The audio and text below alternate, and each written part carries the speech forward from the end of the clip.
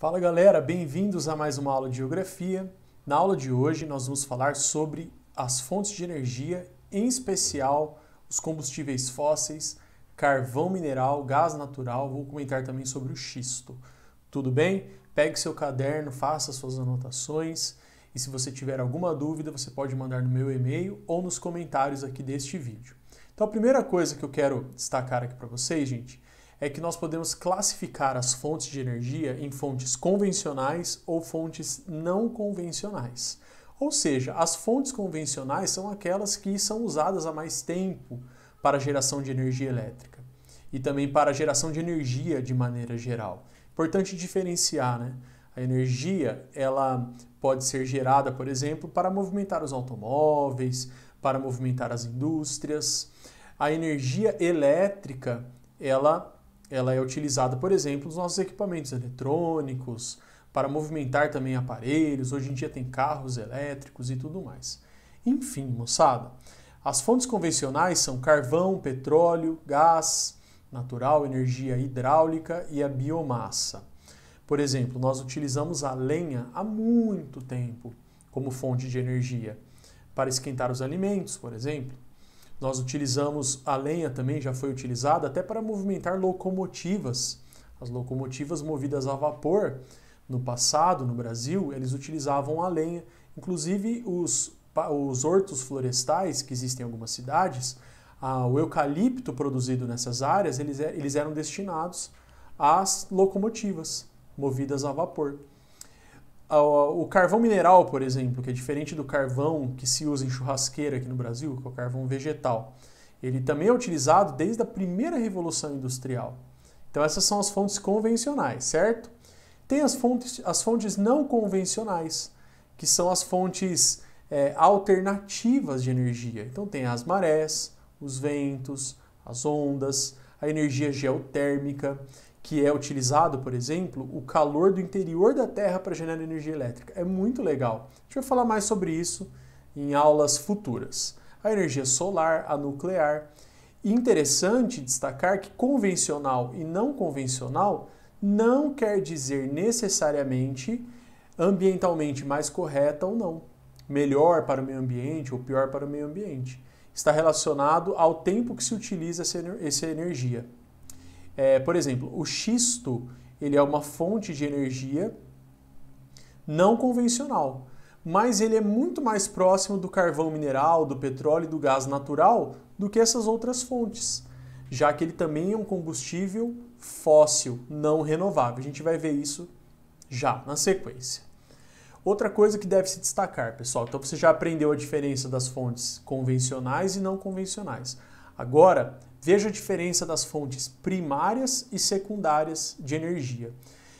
As fontes primárias são usadas de maneira direta. Então tem alguns exemplos aqui, ó, o petróleo, o gás natural, o carvão mineral, energia hidráulica, que é a força da água. Você pode usar, por exemplo, a força da água para movimentar uma roda d'água e, e através dessa força dessa roda d'água você fazer um moinho, por exemplo, para moer grãos resíduos vegetais e animais que você pode queimar para gerar energia elétrica, energia solar, eólica, geotérmica e maremotriz, que é a energia das marés. Já a energia secundária são aquelas que passaram por um processamento antes de você conseguir utilizá-las. Então tem alguns exemplos aqui, pessoal. Óleo diesel. Você não encontra óleo diesel na natureza. Ele veio a partir do petróleo, que é uma fonte primária. O óleo combustível, que é parecido com óleo diesel, mas ele é mais viscoso, ele é usado principalmente em navios. A mesma coisa, ele veio de uma outra fonte, que é o petróleo. A gasolina também.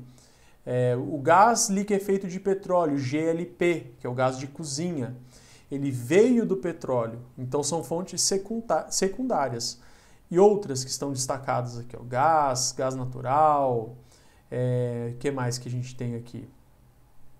Engraçado que o gás natural ele aparece tanto como fonte primária como fonte secundária, porque esse gás natural que está dizendo aqui, mais para frente eu vou explicar melhor para vocês, provavelmente eles estão se referindo ao gás que veio de um, da decomposição, por exemplo, de uma matéria orgânica, que eu nem gosto de chamar de gás natural, e sim de biogás. o gás manufaturado, o gás feito a partir de outra fonte, o coque de carvão mineral, urânio contido nesta composição aqui, eletricidade, carvão vegetal, que não, tá, não é encontrado na natureza. Então vocês entenderam bem, pessoal? Vamos lá. Você já aprendeu agora a diferença da fonte convencional e não convencional, e agora da fonte primária, que é encontrado daquele jeito na natureza, e a secundária, que veio a partir de uma outra fonte que passou por um processo de transformação feito pelo homem. Mais uma coisa legal para a gente ir aprendendo. São vários slides, vários blocos de conhecimento, tá? Por isso que é bacana você anotando em forma de tópicos no seu caderno. No mundo, gente, como vocês podem perceber, desde 1973, deixa eu mudar a cor aqui para ficar mais bonitinho. Ó, desde 1973 até hoje, a matriz energética mundial ela é primordialmente não renovável.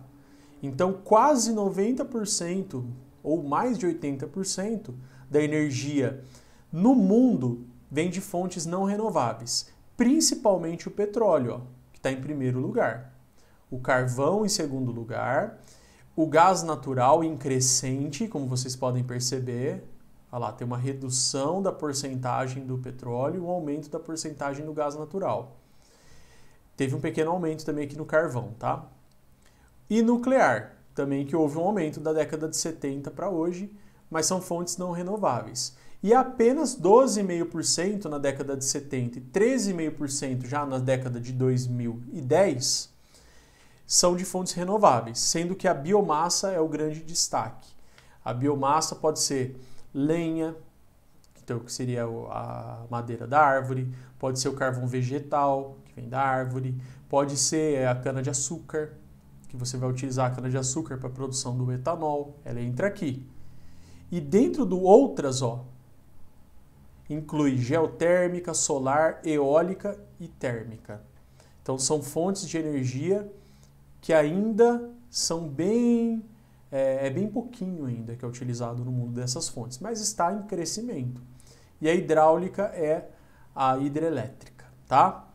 Já o Brasil, vou mudar de cor aqui para ficar mais fácil de entender, a matriz energética brasileira, ela é mais não renovável do que renovável, de maneira geral, tá?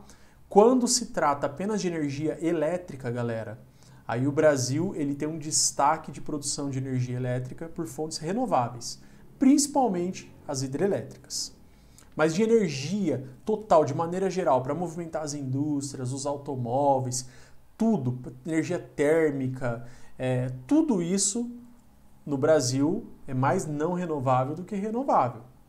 Mas comparado ao mundo, concorda comigo que o Brasil comparado ao mundo, ó, ele tem uma posição é, de destaque em relação ao uso de fontes renováveis.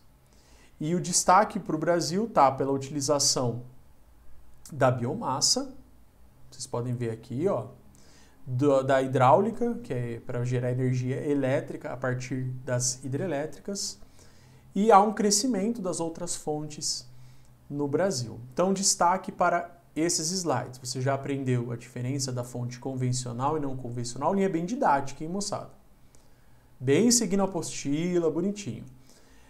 A diferença de fonte primária e secundária de energia. E agora você aprendeu que a matriz energética mundial ela ainda é não renovável.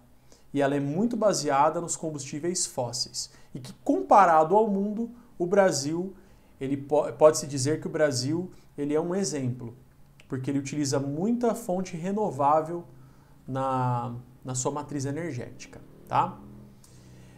Em relação ao consumo, as coisas elas é, mudam um pouquinho, olha lá. Então aqui seria a oferta, o que é produzido de energia. Aqui já é o consumo. No mundo, o petróleo ainda é o destaque para consumo de energia no mundo. Então, quase metade da energia mundial é o petróleo que é consumida no mundo vem do petróleo. No Brasil, esse valor também é mais de 40%, tá? E em termos de eletricidade, aqui 18% no mundo, no Brasil 17%, vejam que é mais ou menos semelhante é, no mundo e no Brasil, com alguns destaques aqui que a gente pode citar. Por exemplo, em relação à biomassa. No Brasil, a utilização da biomassa ela é maior do que o percentual médio aí no mundo. Isso acontece principalmente por causa do etanol. Tudo bem? Que vem da cana-de-açúcar. Então tá aí, gente. Petróleo muito importante ainda hoje, tanto no Brasil quanto no mundo. Ele é o principal, principal consumo de energia é do petróleo. Mais um slide para você ir recapitulando e aprendendo, hein? Qual é a diferença? Às vezes eu não estou olhando diretamente para vocês, que eu estou olhando aqui para a lozinha, tá bom, galera? Qual é a diferença das fontes de energia renováveis e não renováveis? Legal, hein? Isso aqui não pode fazer confusão. Na última aula eu já expliquei para vocês. Não quer dizer reciclável e não reciclável, são coisas diferentes. Renovável, segundo o que está escrito aqui na apostila, é uma fonte que você pode utilizar. Olha lá, ó. acho que eu coloquei no próximo slide também. Isso, ó. renovável. As fontes de energia primária e secundária de que podemos, em princípio, dispor sempre. Então, água, vento, biomassa, solar, sempre vai ter. Então a vegetação, por exemplo, se o ser humano não for lá e predar, acabar com uma vegetação, ela vai ter sempre disponível, porque a árvore dá conta de ter esse, esse processo natural de renovação. Já a matriz não renovável, olha lá, o não renovável, é a soma das fontes de energia primária e secundária que se esgotarão com o uso no sentido, pessoal, vamos tomar cuidado com essa parte aqui, no sentido de que elas são finitas, tá? Então, se não tiver interferência humana, a vegetação ela vai se renovando. O sol sempre tem, a água tem, o vento tem. Já o petróleo, o carvão mineral, acabou, acabou. Eles têm uma quantidade finita. Então eles podem acabar. Mesma coisa o gás natural, urânio, os minerais. Então essa que é a grande diferença e esse é um dos temas mais cobrados no vestibular quando o assunto é fontes de energia, a diferença de fontes renováveis e não renováveis. Para listar rapidamente aqui, galera, fontes renováveis: biomassa, etanol, cana-de-açúcar, que vai fazer o etanol, madeira, carvão vegetal, o biogás, que vem da decomposição da matéria orgânica, ou mesmo do lixo, dos aterros sanitários, você consegue retirar o biogás ou de esterco que fica ali num, num, num, tanque chamado biodigestor, ele vai retirar o gás ali da decomposição, você consegue utilizar, até para abastecer uma, uma pequena fazenda. O bagaço de cana que você pode queimar para esquentar uma caldeira e gerar energia, são fontes renováveis. As não renováveis, sempre você vai lembrar do carvão mineral, do petróleo, do gás natural, não confunda gás natural com biogás, e lembre também do xisto, do urânio, dessas fontes que vêm de minerais, que eles são finitos.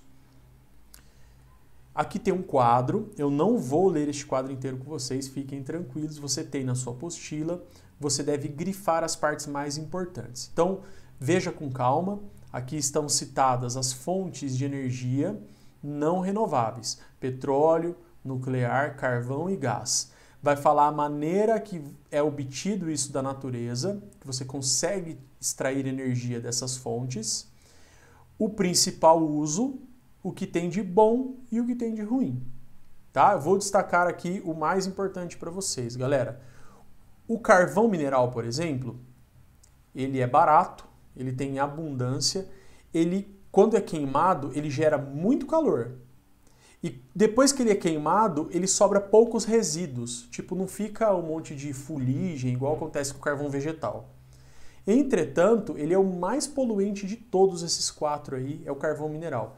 Ele emite uma grande quantidade de carbono durante a sua queima. Países que utilizam muito carvão mineral, como a China, por exemplo, eles são países que estão entre os maiores poluidores no mundo. O petróleo ele é mais versátil que o carvão mineral, porque ele é líquido. E a partir do petróleo dá para obter um monte de tipo de, de combustível. Desde o óleo combustível, que eu falei para vocês, o diesel, a gasolina, o querosene de aviação e muitas outras coisas que nem são combustíveis. Então ele é muito versátil, ele também é muito poluente. A queima do petróleo emite uma grande quantidade de carbono na atmosfera e ele é uma fonte não renovável, como já foi citado. A nuclear, olha só que interessante, hein, pessoal? Caso você não saiba disso. Quando você vê uma usina nuclear em funcionamento, fica saindo uma fumaça dessa usina nuclear. Mas aquela fumaça que sai é apenas vapor d'água. O reator nuclear, ele funciona com mineral radioativo e ele libera energia, libera calor, e esse calor que está sendo liberado ali dentro, ele é suficiente para aquecer a caldeira e a água quente ali em altíssima temperatura e pressão movimentar os geradores elétricos e produzir energia elétrica. Mas a nuclear tem seus riscos, além de ser muito cara, a energia nuclear, ela pode ter algum tipo de acidente, vazamento ou até mesmo tem a preocupação em armazenar o lixo nuclear, que ele não pode ser descartado de qualquer maneira, ele tem que ficar guardado para sempre. O gás natural, ele é semelhante ao carvão e o petróleo, é um combustível de origem fóssil e a queima do gás natural emite menos carbono do que do petróleo e do carvão. Ele pode ser utilizado, inclusive, como combustível de automóvel, o gás natural. O gás natural não significa que ele é ambientalmente correto e nem que ele é não renovável. O nome natural pode gerar uma confusão, então você tem que ficar atento a isto, viu, gente? Já essas outras fontes são fontes renováveis, a hidrelétrica, a eólica, solar e a biomassa. Mesmo esquema, tá? Aqui eu coloquei para vocês a forma que é obtida, o uso, as vantagens e as desvantagens. A hidrelétrica, por exemplo, é uma fonte de energia muito interessante. A partir do momento que tem uma hidrelétrica instalada em determinado lugar, ela vai gerar muita energia e ela, o custo de geração é muito baixo e de manutenção também. Porém, ela gera impactos, porque para fazer o reservatório de água de uma hidrelétrica, vai gerar desmatamento, vai ter as espécies que vão ficar embaixo vão acabar apodrecendo, os animais vão ter que se deslocar, muitos vão morrer, e as pessoas que vivem naquela região são obrigadas a, a se deslocar para outros lugares. Então isso afeta de uma maneira muito significativa as populações ribeirinhas, os indígenas que vivem em áreas de floresta onde vai ser alagado para construir uma hidrelétrica, fazendeiros, pequenos produtores rurais que têm que sair daquela área para fazer o reservatório. A eólica é uma fonte bem interessante, a energia eólica, porque ela é o impacto dela é quase zero. Ela tem um impacto, por exemplo, que ela faz muito barulho, ruído, aqueles reatores eólicos, e também não pode estar instalada na rota de migratória de pássaros, porque isso aí pode gerar um, um estrago, né? Então tem esses cuidados e também ela depende muito das condições geográficas, porque tem que ventar sempre, constantemente. No Brasil, no litoral do Nordeste, é o melhor lugar para instalação das hidrelétricas. A energia solar, só dá para ter energia solar onde realmente faz bastante sol ao longo do ano todo.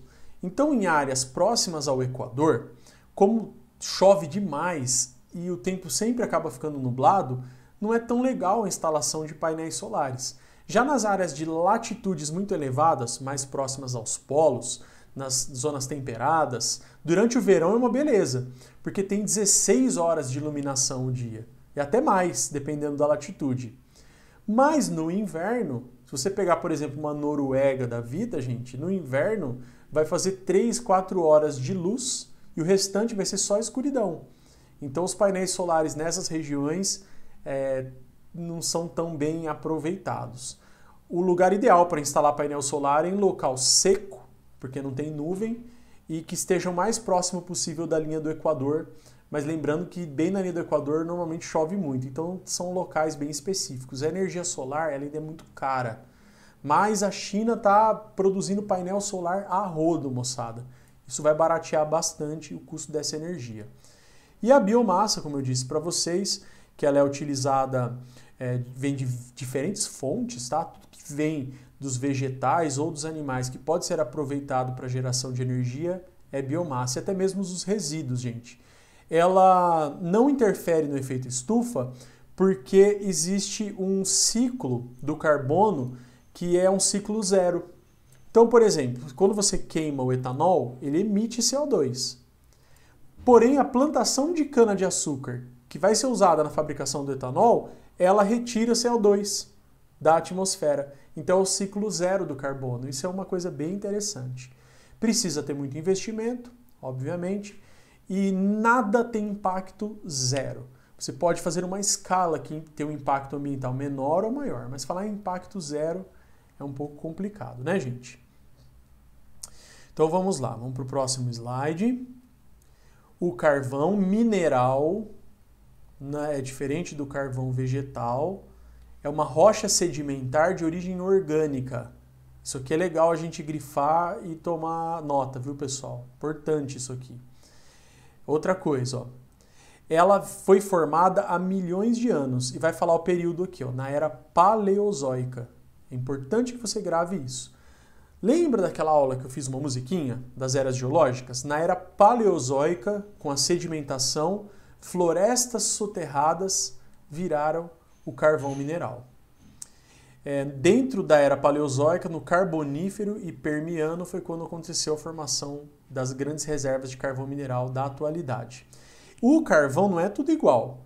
O carvão vegetal vou até riscar, tá? que é uma outra categoria. Ele já não entra na categoria de combustível fóssil. Mas tem a turfa, o carvão mineral, turfa, lignito, hulha e antracito.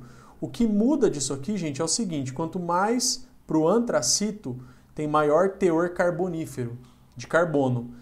Menor grau de impurezas, olha só, e cinzas, e maior potencial calorífero, calorífico.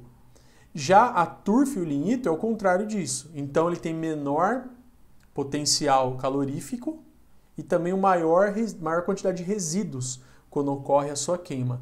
No entanto, pessoal, o antracito ele é bem mais raro e a turfa e o lignito são mais comuns. O carvão mais usado no mundo é a hulha. Tá? Já no Brasil, a gente vai ter aqui o lignito, que é um carvão de menor qualidade. Aqui no mundo, pessoal, o destaque está para estes países, ó, Estados Unidos, China e Rússia. São grandes, têm grandes reservas, são grandes produtores. Mas o grande destaque mesmo está para a China, que atualmente produz grande parte do carvão mineral no mundo e também consome. Por isso que eu falei para vocês que é um país ali que tem muita poluição, gente, por causa disso. Aqui a gente vai falar do Brasil, pessoal, posso falar no mundo. No Brasil, guarda bem isso, tá? Nós temos poucas reservas de carvão e elas estão mais restritas aos estados da região sul. Em especial, Santa Catarina e Rio Grande do Sul. São as principais áreas produtores, produtoras de carvão no Brasil. Nosso carvão, eles podem ser utilizados nas siderúrgicas, principalmente os de Santa Catarina. Então, na siderúrgica, queima-se o carvão para poder gerar calor e com este calor derreter o minério para fazer ali, por exemplo, derreter a hematita para obter ferro, é, para fazer aço também, com manganês. Então é assim que é utilizado o nosso carvão. É, o carvão de Santa Catarina, como eu disse, ele é usado nas siderúrgicas. E quando você ouvir esse nome Tubarão, Criciúma, geralmente está relacionado essas áreas de produção de carvão. Mas para você gravar é o seguinte, gente, carvão no Brasil ruim, quase nada, e tem mais na região sul do Brasil, tá? Aqui o destaque, como eu falei para vocês, tem alguns outros pontos, mas falou em carvão, lembra da região sul do país. O xisto, para finalizar, ele é uma rocha que é como se fosse uma bolachinha, é, dessas bolachinhas wafer ou waffle, e o óleo ele fica no meio das camadas de sedimentos das rochas. E era muito difícil obter o xisto dessas rochas, até que foi criada uma técnica utilizada nos Estados Unidos que eles fazem um furo nessa rocha, colocam um cano, olha que doido, gente. Esse cano ele vira assim para o lado, ele é tudo furadinho. E aqui eles injetam um líquido em altíssima pressão, com umas bombas especiais. Quando este líquido é injetado, ele sai aqui e fratura toda a rocha. Por isso chama frackling a técnica, fraturamento. Quando eles retiram o líquido, primeiro vai sair esse líquido injetado e na sequência quem vem atrás? O óleo estava no meio da rocha do xisto. Ele é um pouquinho caro de ser extraído, mas ele virou uma alternativa bem interessante, por exemplo, para os Estados Unidos, que ele era muito dependente da importação de petróleo do Oriente Médio, da Venezuela, do México, e atualmente ele consegue produzir muito óleo a partir do xisto. As, as, as rochas aí, que são os folhelhos no caso, eles têm o olhinho no meio deles, tá? Então lembre como se fosse uma massa folhada e como se fosse a manteiga da massa folhada. Não é fácil você retirar, né? Você teria que espremer a massa para conseguir tirar aquela, aquele olhinho ali. O Brasil, gente, ele tem a segunda maior reserva de xisto do mundo, mas ainda está em estágio experimental. Os Estados Unidos têm a maior do mundo. No Brasil, o xisto ele é encontrado em vários pontos do nosso território, tá? É, eu coloquei esse mapinha aqui para mostrar para vocês que não tem assim uma área específica, mas a principal área de ocorrência está na formação Irati, que fica aqui no Paraná. Tá? É aqui onde tem a maior ocorrência de xisto no Brasil ainda está em processo experimental. O gás natural, que é o último aqui que eu vou falar para vocês, ele também é um combustível, como falei para vocês, de origem fóssil e não renovável. E o, o objetivo do governo é, é aumentar a participação do gás natural na composição da matriz energética brasileira, justamente por ele ser menos poluente, tá? Atualmente no Brasil, gente, é extraído o gás natural na bacia de Santos, que fica ali no litoral de São Paulo, mas o Brasil fez um gasoduto, um cano, que vai até a Bolívia. Deu maior treta na hora de construir esse cano, porque aqui ó, inaugurado em 1999, ele vai de Santa Cruz de la Sierra, na Bolívia, passa por vários lugares, depois você pode marcar e grifar, até chegar no Rio Grande do Sul, tem mais de 3 mil quilômetros, mas houve um acordo entre a Petrobras e a empresa boliviana de gás. E daí, quando o presidente Evo Morales se transformou no presidente da Bolívia, ele começou a rever estes acordos de exploração de empresas internacionais do gás da Bolívia. E isso gerou um aumento do custo para a importação do gás boliviano para o Brasil e até o que estimulou as novas pesquisas da Petrobras para obtenção de gás. Tem esses exercícios para vocês responderem.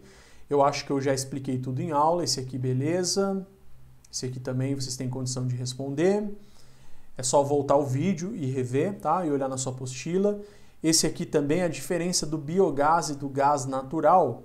Vamos sempre usar a expressão gás natural para o gás de origem fóssil, como petróleo, carvão. Então, sempre lembrar do gás natural, que é o gás não renovável. E biogás é o gás que vem da decomposição da biomassa. Então eu não gostaria que vocês gravassem a ideia de gás natural como dois tipos, como está dizendo aqui na apostila. Eu acho mais legal você pensar em gás natural. 99% das vezes que falar essa expressão gás natural está se referindo ao gás que tem a origem fóssil, assim como o petróleo e o carvão. E biogás, o gás que é renovável, que vem da decomposição das matérias orgânicas. Este exercício também aqui é bacana, eu acho que esse aqui dá para a gente fazer junto, rapidinho. Pausa, tenta responder, você vai colocar sim ou não. Tá? E para facilitar, eu vou fazer um, um, um S e um N só aqui. Então você pode pausar o vídeo, tenta responder sozinho e já vem comigo para correção. Vamos lá, correção. Existências de reservas expressivas em território brasileiro. Carvão não, gás natural não, xisto sim. Não, mas pode descobrir novas reservas, tá? Tem tudo isso aí também, viu, gente? Produção brasileira em grande escala. Carvão, não. Gás natural, também não. Xisto, não. O Brasil está aumentando a produção, vou fazer uma, um asterisco aqui, de gás natural, tá? Pode-se dizer que mais ou menos. Dependência de fornecimento externo. O Brasil depende de importar carvão, o Brasil depende de importar gás natural, o Brasil não depende de importação de xisto. Lembra que eu falei que tem a segunda maior reserva? Produção e processamento é, no Brasil ainda em fase experimental. O carvão, não, já produz já. Gás natural também não. O que está em fase experimental é o xisto. Recurso energético de alto teor calórico. O carvão, vocês lembram que ele é alto teor calórico, mas nem todos. O carvão brasileiro não. O gás natural, sim. E o xisto, não. Tá? O xisto você precisa é, transformar, retirar o óleo dele para ele ter alto poder calórico. O gás natural é, ele tem o poder de queima, então ele é um gás, né? Você queimou, ele vai gerar calor. Produção e distribuição com participação da Petrobras. O carvão, não. O gás natural, sim. E o xisto, não. Fornece também enxofre para adubos agrícolas, só o carvão, gente. Que doido, né? O carvão mineral usado como adubo na agricultura. Baixo impacto ambiental. Comparado aos outros, o, car... o gás natural, o impacto é menor, né? Mas, vamos colocar não. O impacto é menor, asterisco aqui também. Utilizado como combustível, só o gás é utilizado como combustível de veículos. Pelo menos na atualidade. Utilizado na siderurgia. O carvão é utilizado na siderurgia, os outros dois não. Então essa ficou o gabarito aqui deste exercício. Galera, parabéns por ter assistido a aula até aqui, ter prestado atenção e feito suas anotações. Como eu disse, se tiver alguma dúvida, pode mandar no meu e-mail profgeoleandro@gmail.com ou nos comentários desse vídeo. Deixa seu joinha para eu ver que vocês estão gostando da aula e até a nossa próxima aula, galera. Falou!